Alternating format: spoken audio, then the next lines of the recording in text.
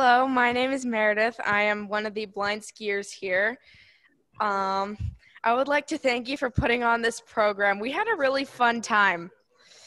We got to um, we got to go snowmobiling, which was really fun, and then we went skiing, and I did not fall. I did not fall How once. much she paid him to say that, but Yeah. Uh-huh. she tried to pay him something. I did not fall once. And we got to go on some pretty fun trails today. We went on Possum, we went on Wisp, um, we went on Happy Camper. It was really fun. Um, my guides were Joey, Fred, Ava, and um, Sharon. Yeah. Okay, I see now. What? Yeah, that's what. Oh no. Oh no.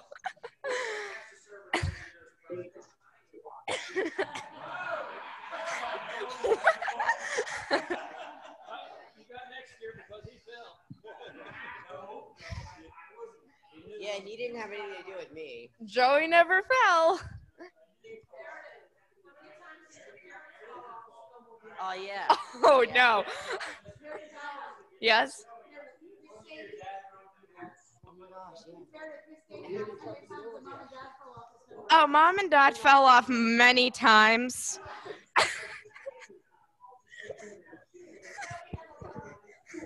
it was pretty fun.